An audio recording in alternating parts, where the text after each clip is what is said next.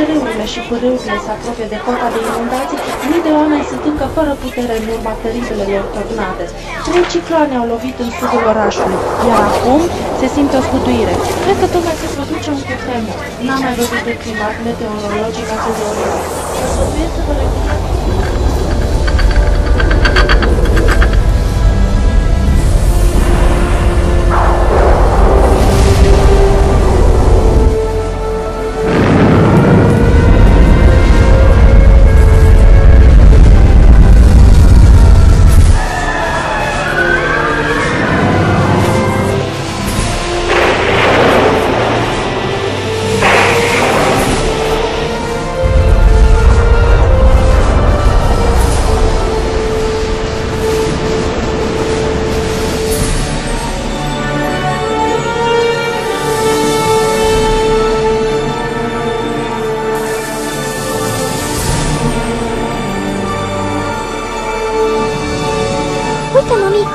e Isus!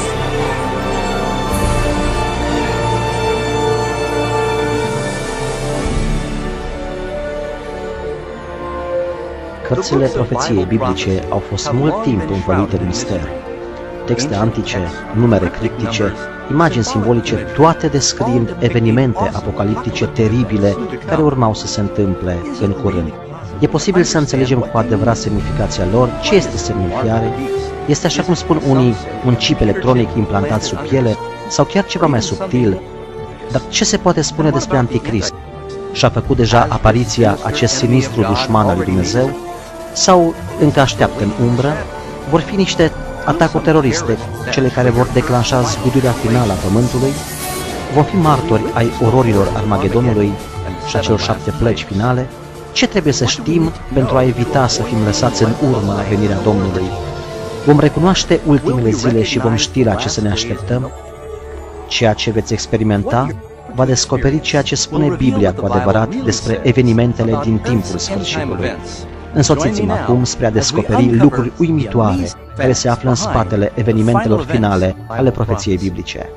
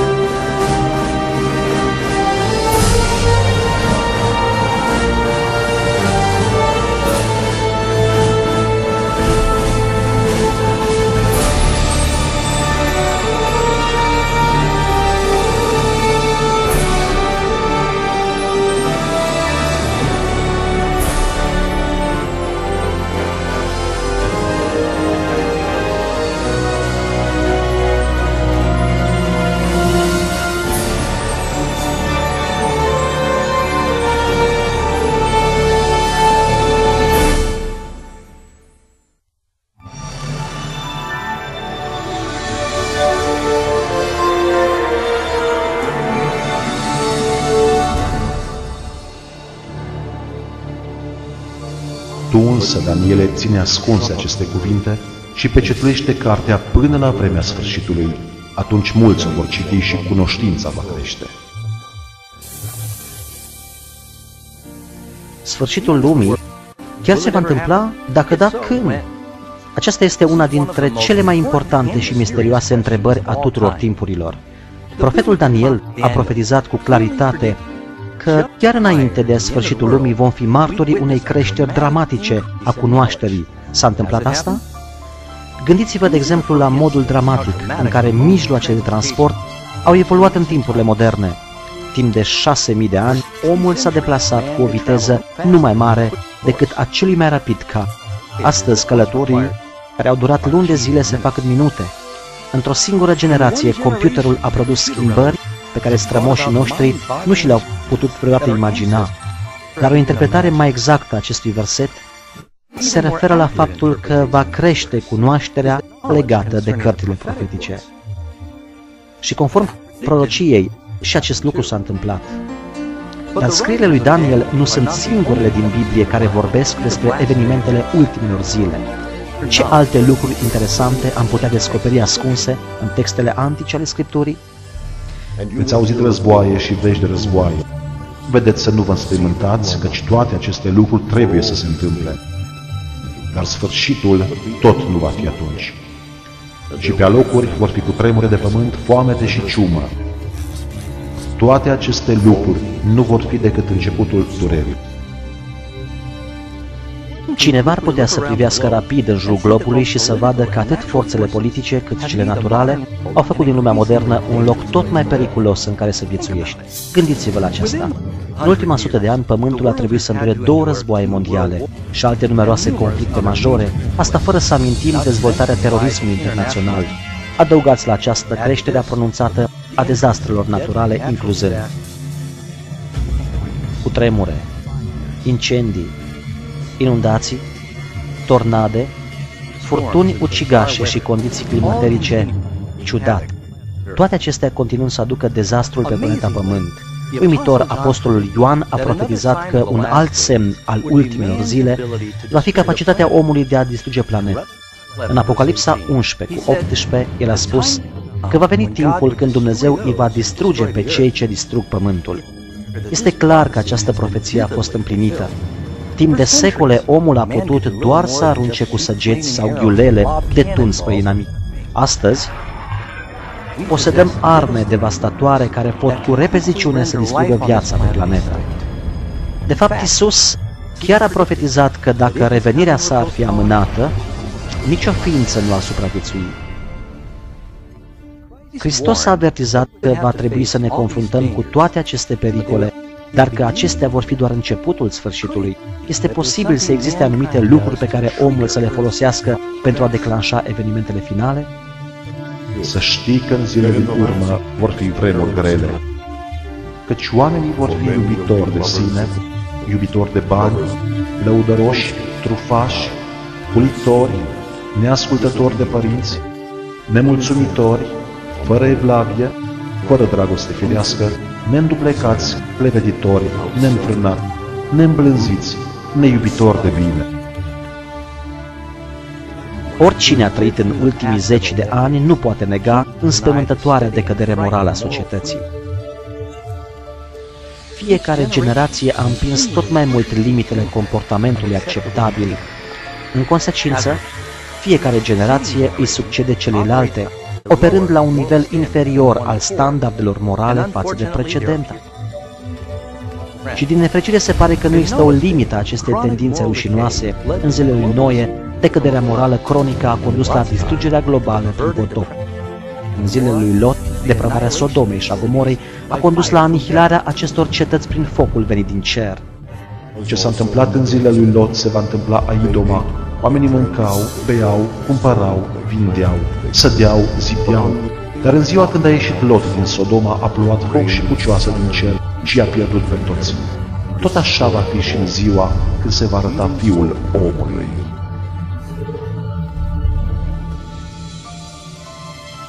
La fel în zilele noastre este posibil ca imoralitatea și perversiunile să cheme încă o dată judecățile cerului. Odată cu declinul moral al societății, Biblia avertizează că în ultimele zile va avea loc o creștere dramatică a fenomenelor spiritiste și oculte. Dar Duhul spune lămurit că în vremurile din urmă unii se vor lepăda de credință ca să se alipească de duhuri înșelătoare, de învățăturile dracilor. Practica comunicării cu morții, interzisă mult timp de scriptură, devine cu repeziciune acceptabilă în bisericile moderne.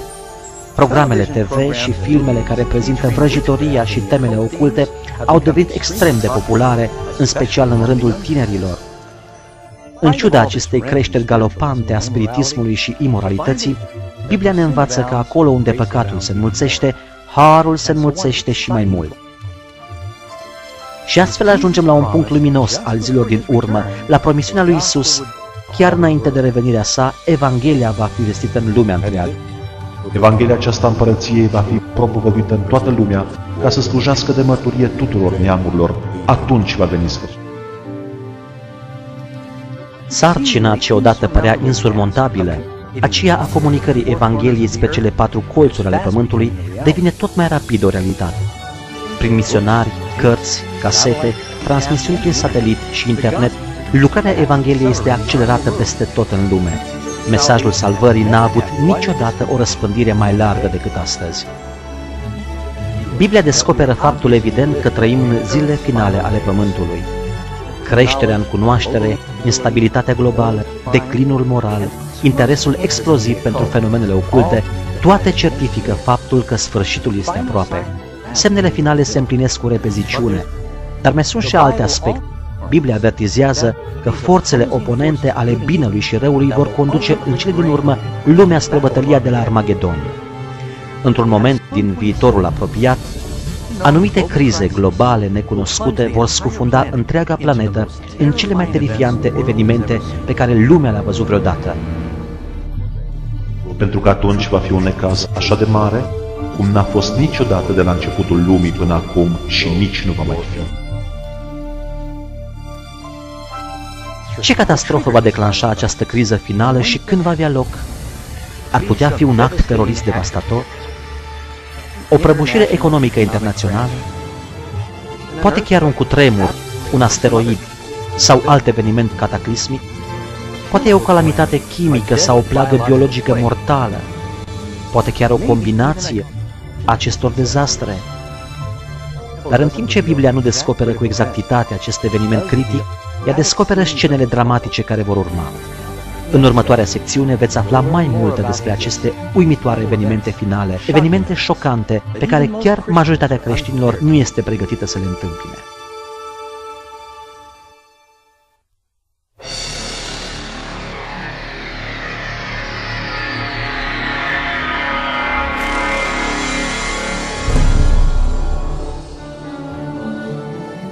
Când începe marea strâmtorare, liderii mondiali se străduiesc să facă față tuturor acestor calamități. Între timp, creștinii sinceri față de Dumnezeu experimentează o revărsare a puterii Duhului Sfânt.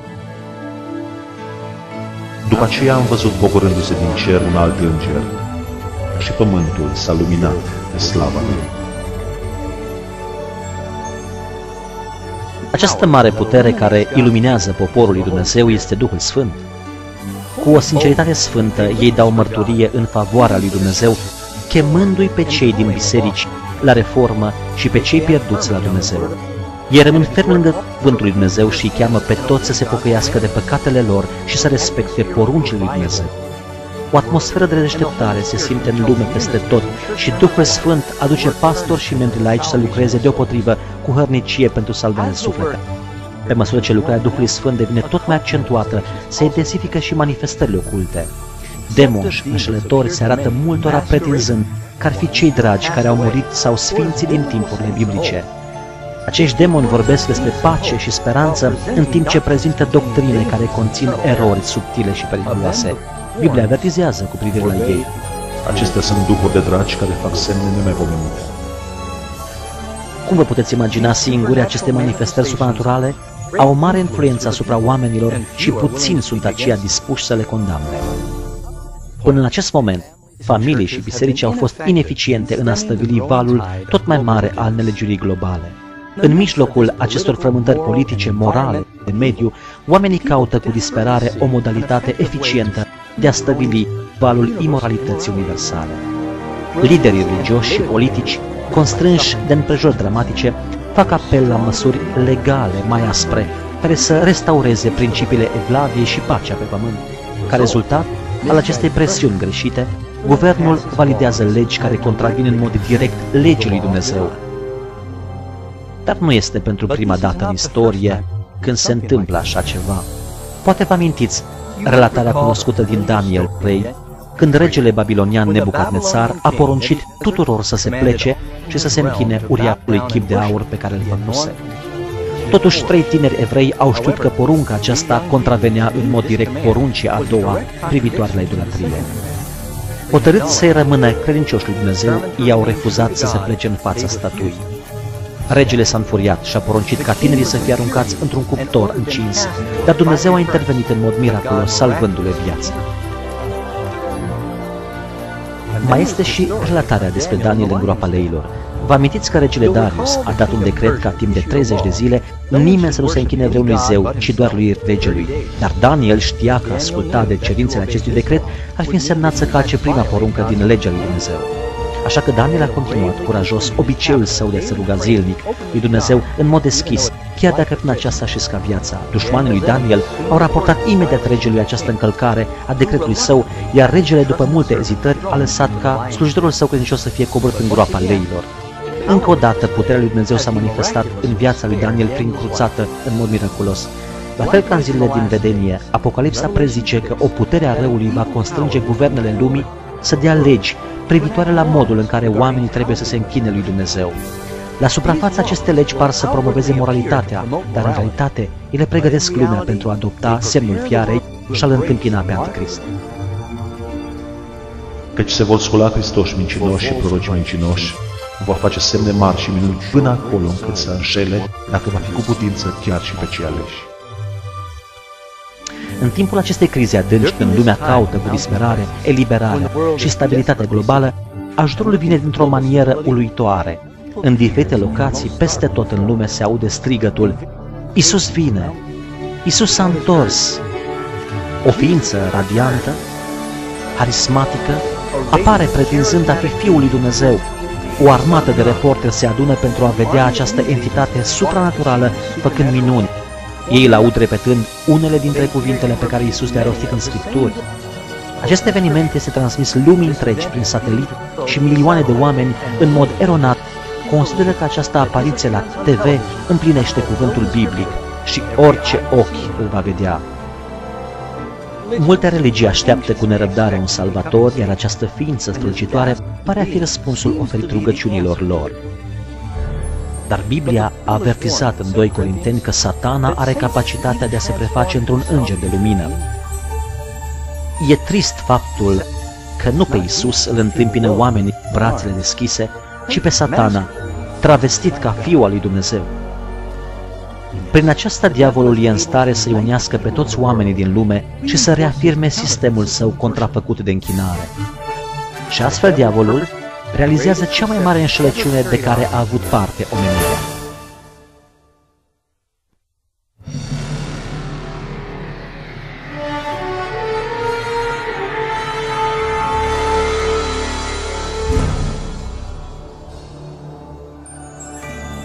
Înșelăciunea satanei se dovedește a fi o puternică forță motivatoare în lume. Cei mai mulți lideri spirituali îl acceptă pe marele impostor ci totodată sistemul fals de închinare pe care el îl promovează. Pe măsură ce calamitățile globale se intensifică, liderii bisericilor socotesc că nu trebuie să se piardă timpul și că lumea trebuie constrânsă să adere la doctrinele acestui Mesia contrafăcut. Aici este răbdarea Sfinților care păzesc poruncile lui Dumnezeu și credința lui Isus. Nu toți sunt înșelați. Câțiva înțeleg că Biblia avertizase cu privire la această înșelăciune uimitoare și ei știu că scopul acestui fals Mesia este de a îndepărta pe oameni de poruncile lui Dumnezeu. Dar nu e prima dată când satana s-a înfățișat ca un înger de lumină. Când Isus a fost ispitit în pustie, satana i s-a arătat deghizat ca mesager glorios din partea lui Dumnezeu. Dar diavolul și-a descoperit adevărata identitate atunci când l-a ispitit pe Isus să ne socotească cuvântul lui Dumnezeu. Și așa, încă o dată, folosind tactici similare, diavolul încearcă să înșele lumea, determinând-o să ne socotească legea lui Dumnezeu. Nimeni nu poate sluji la doi stăpâni, căci sau va urâ pe unul și va iubi pe celălalt, sau va ține la unul și va nesocoti pe celălalt. Lumea este condusă spre un moment al deciziei. Hristosul fals și tendința globală polarizează lumea în două grupări distincte cei care urmează Biblia și cei care urmează fiara. Neliniștea umple inimile oamenilor și religia este subiectul suprem în mintea fiecărui om. La radio și TV, precum și în dezbateri la tribunale, urmașii adevărați ai lui Dumnezeu sunt aduși în fața liderilor lumii, unde ei dau o puternică și elocventă susținere biblică a deciziei lor de a se opune sistemului fals de închinare pe care masele vor să-l impună Poruncile lui Dumnezeu și punctele cele mai importante ale actului de închinări se află în centrul atenției fiecarei discuții.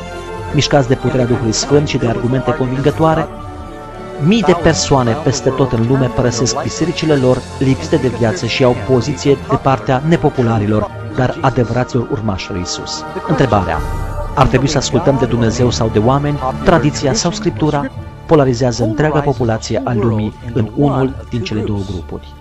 Pe de o parte, sunt cei care primesc sigilul lui Dumnezeu. De pe de altă parte, sunt aceia care primesc semnul fiarei. Cine este nedrept să fie nedrept și mai departe. Cine este întinat să se întineze și mai departe. Cine este fără prihană să trăiască și mai departe, fără prihană.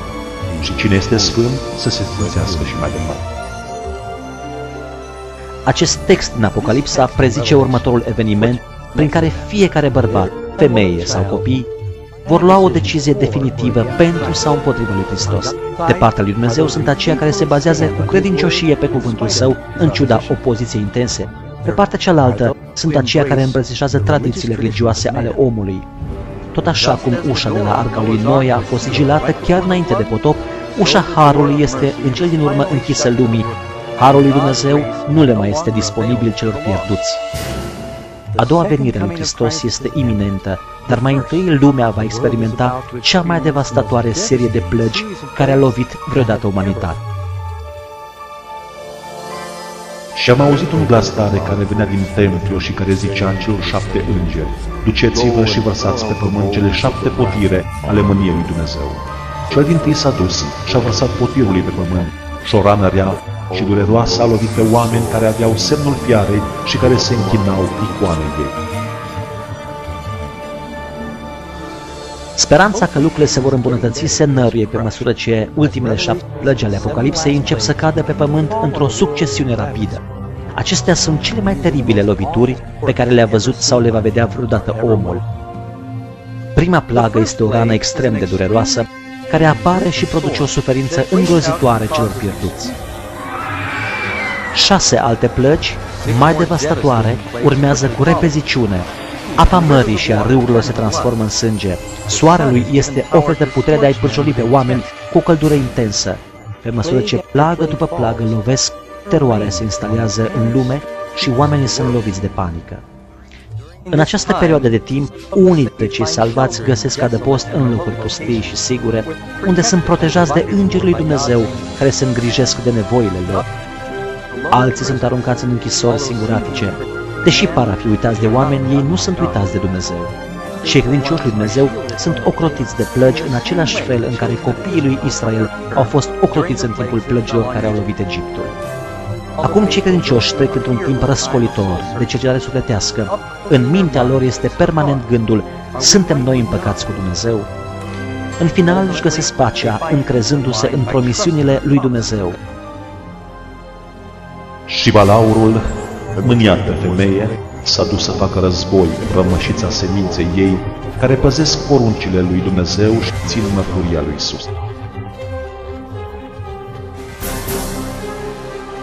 Convinși de Hristosul cel fals, nefericiții cei pierduți cred că singura lor speranță de a găsi eliberare de plăgile devastatoare constă în a elimina pe cei care li se opun. Așa că se ia hotărârea ca poporul lui Dumnezeu care se ține cu încăpățânarea de Scripturi să fie căutat și exterminat într-o zi anume. Astfel, pe tărâmul bătăliei spirituale sunt aceia care urmează tradițiile oamenilor și se închină fiarei, înfuriați împotriva acelora care îl iubesc pe Isus și păzesc poruncile sale. Aceasta este bătălia finală a Armagedonului. O lume rea, nelegiuită a atins în cel din urmă limitele răbdării lui Dumnezeu și este timpul ca el să ia poziție și să salveze copiii credincioși.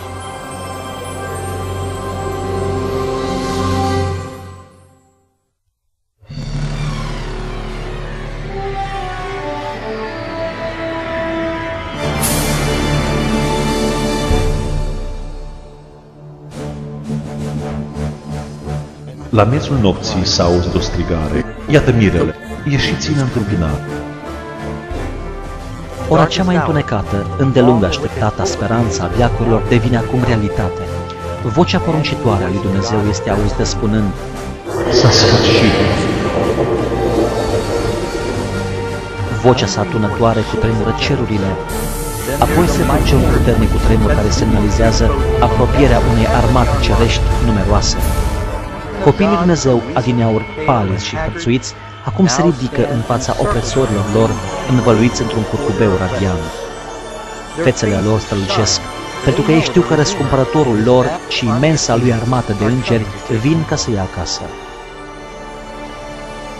Iată că El vine pe nori și orice ochi îl va vedea și cei ce l-au străpuns și toate semințiile pământului se vor buci din pricina lui. Aceasta nu este o răpire secretă, cum poate ați auzit pe unii spunând, ci fiecare persoană de pe planetă este martora al acestui eveniment minunat și cei mai mulți sunt îngroziți de el.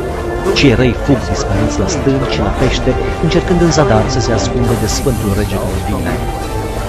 Și așa cum a promis Isus, oamenii răi care au avut un rol proeminent în procesul și crucificarea sa sunt înviați din mormintele lor pentru a-L vedea venind în nor de slavă.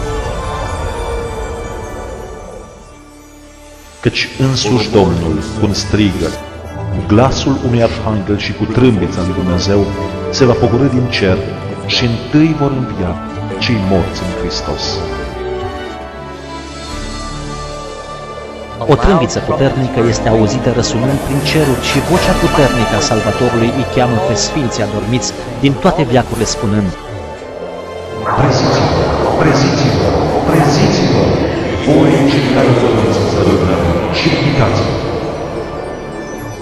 Pe toată suprafața pământului o mare armată de sfinți se ridică din paturile lor de țărână. Se arată acum în trupuri tinere, glorificate și nemuritoare, fără nicio urmă de boală sau deformitate. Apoi, cei care au trăit în timpul de strâmtorare sunt și ei transformați. Într-o clipă le sunt oferite trupuri noi, frumoase și nemuritoare. Nelegiuiții se uită îngroziți la această priveliște uimitoare. Apoi noi cei vii care vom fi rămas, vom fi răpiți toți împreună cu ei în nori, ca să întâmpinăm pe Domnul în văzduh. Și astfel vom fi totdeauna cu Domnul.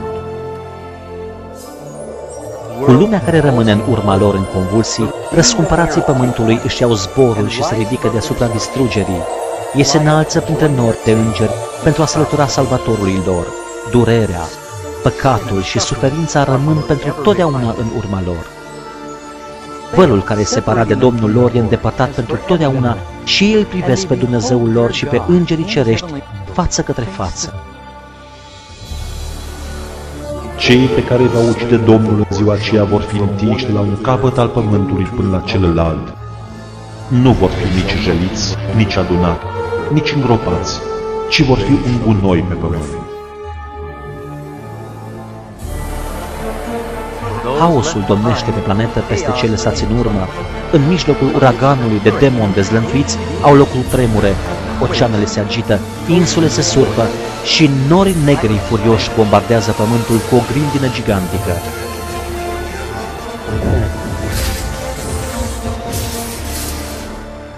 Nelegiuiții care au reușit să supraviețuiască acestor catastrofe sunt curând distruși de strălucirea prezenței Domnului Isus. Trupurile lor zac răspândite pe toată suprafața planetei răvășite. Pentru prima dată de la crearea sa, Pământul este acum în totalitate lipsit de viață umană. Doar satana și îngerii săi căzuți sunt lăsați în urmă pentru a vedea rezultatele răzvrătirilor.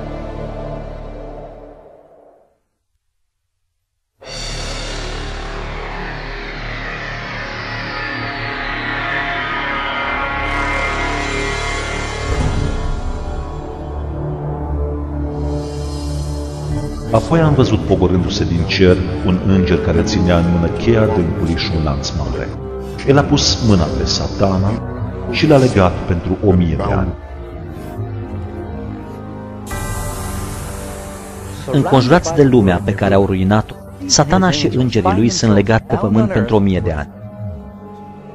Ei sunt prizonieri pe această planetă întunecată și pustită. Singur, cu demonii săi, satana e obligat să aștepte și să se gândească la pedeapsa lui viitoare. De fiecare parte, el vede orașe distruse, păduri pânjolite și oase uscate. Toate sunt rezultatele teribile ale războiului său împotriva cerului. Legat ca într-o uriașă fântână fără fund, fără să aibă pe cine ispiti sau manipula, satana este absolut nefericit.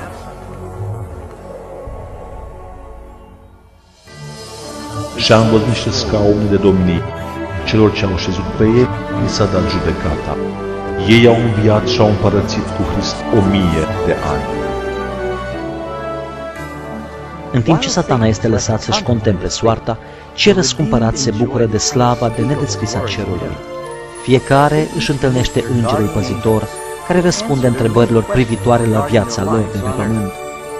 Apoi Dumnezeu, într-un act de transparență finală, îi invită să participe la judecată, deschizând în fața lor toate înregistrările privitoare la cei pierduți.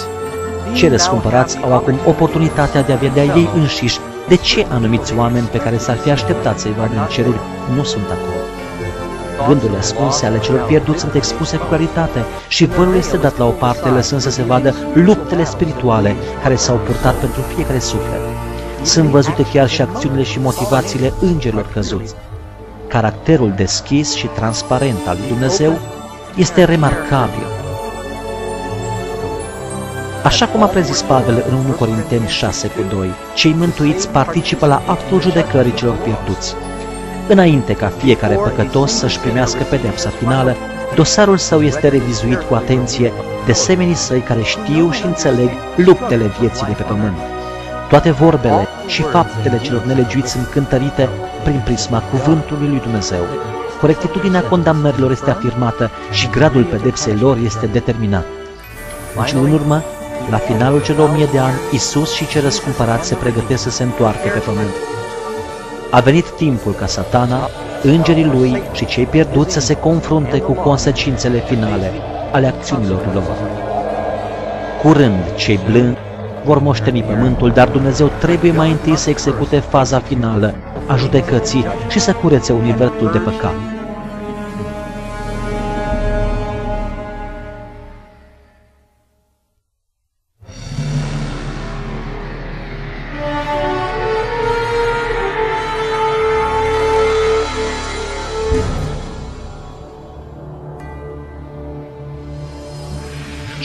Văzut coborându-se din cer de la Dumnezeu, cetatea sfântă, noul Ierusalim, gătită ca o mireasă împodobită pentru bărbatul ei.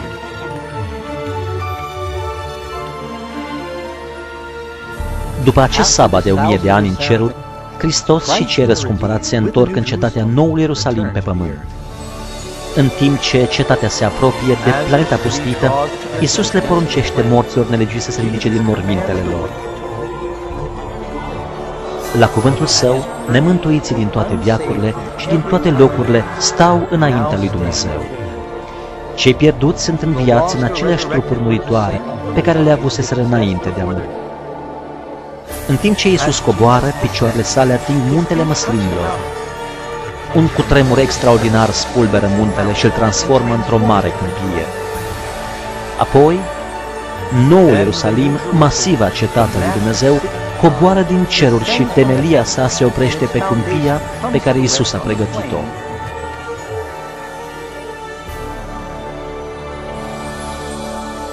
Când se vor împlini cei o mie de ani, satana va fi dezlegat din temnița lui ca să înșele neamurile, ca să-i adune pentru război.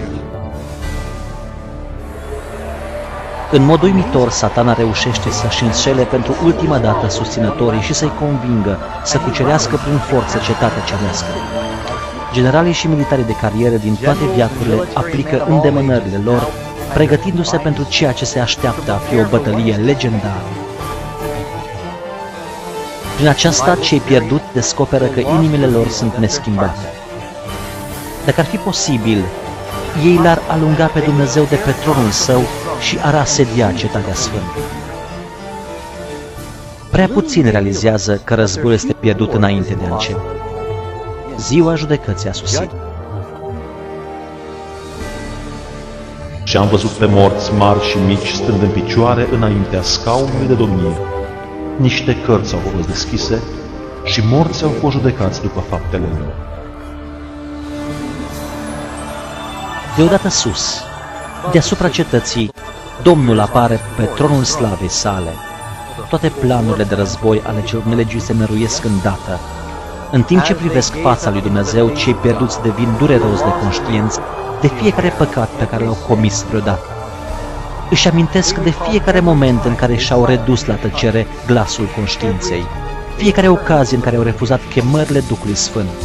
Unii au mers în mormânt, crezând că au reușit să-și ascundă crimele, nelegiuirile și viciile de toți. Cu rușine, experimentează la prima mână cuvintele lui Isus din Luca 12, căci nu e nimic acoperit care să nu fie descoperit, nici ascuns și să nu fie făcut cunoscut. În timp ce o panoramă luminoasă a vieții lor îi se înfățișează, fiecare suflet pierdut înțelege pe deplin că prin propria alegere a resprins salvarea oferită. În mod tragic, pacea și fericirea celor din interiorul cetății nu va fi a lor niciodată. Simțămintele de disperare și deznădejde care îi cuprind sunt dincolo de cuvinte. Răzvrătiții nu pot nega corectitudinea judecății lui Dumnezeu. Într-un singur glas ei strigă, Drepte și adevărate sunt căile tale, tu împărate în sfinților, și căzuți în prosternare, ei se închină prințului vieții. Și ei s-au suit pe fața pământului și au înconjurat tabăra sfinților și cetatea prea iubită, dar din cer s-a pogorât un foc care i-a mistuit. În cele din urmă vine momentul pentru cei pierduți să se confrunte cu consecințele finale ale acțiunilor lor. Fără vreo avertizare, foc și grindină cad din cer.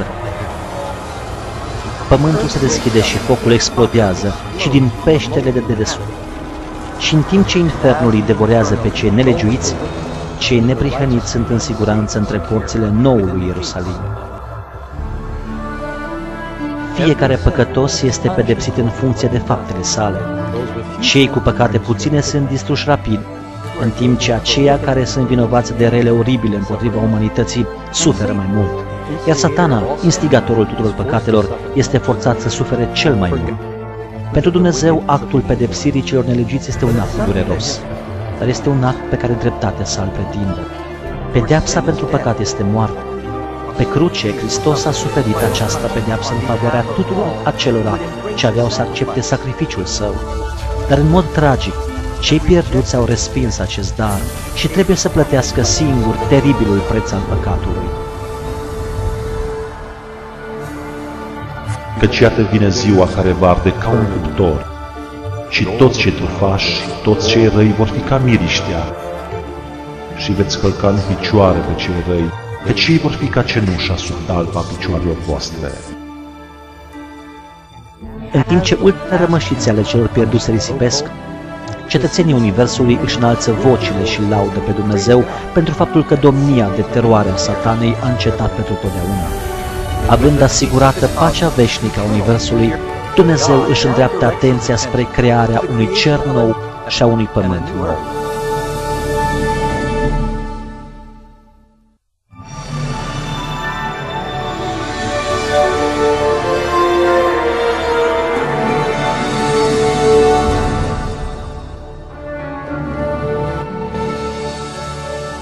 Apoi am văzut un cer nou și un pământ nou, pentru că cerul din tâi și pământul din tâi pieriseră.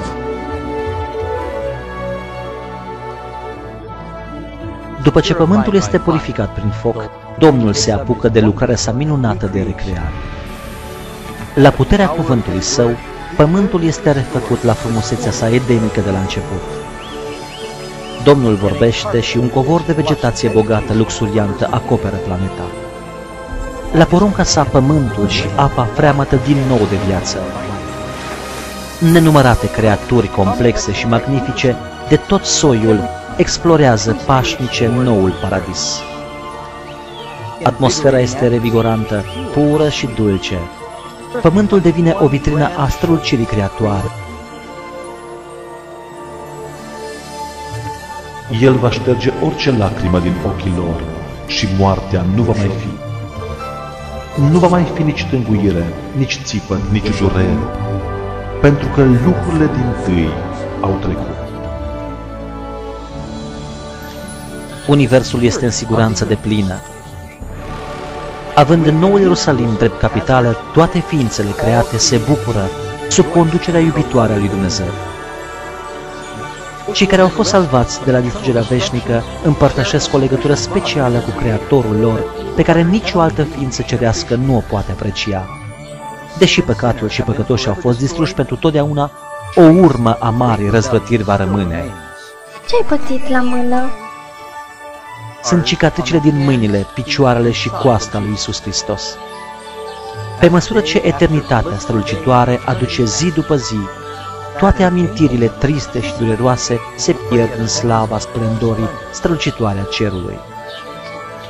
Nemai fiind limitați de timp, copiii nemuritori al lui Dumnezeu sunt acum liberi să atingă cele mai înalte ambiții ale lor. Accesul nelimitat la cunoaștere le înviorează și le stimulează mintea. Nemai fiind legați de pământ, cei răscumpărați sunt liberi să exploreze minunile infinitului univers al lui Dumnezeu. Cerul este un loc al păcii și armoniei perfecte, unde dragostea pentru Dumnezeu și pentru ceilalți umple fiecare inimă. Biblia promite că această împărăție care vine poate fi căminul tău veșnic. Iisus a jertfit pe cruce să-ți ofere ție iertare și biruință asupra păcatului. Mai mult decât orice altceva, Iisus dorește ca să trăiești alături de El pe acest nou pământ. În timp ce El tânjește să te salveze, nu te poate obliga să-i accepti darul. Tu singur trebuie să decizi să-L accepti. Nu vrei să viazi la El? Cheamă-L acum și El va veni în inimă.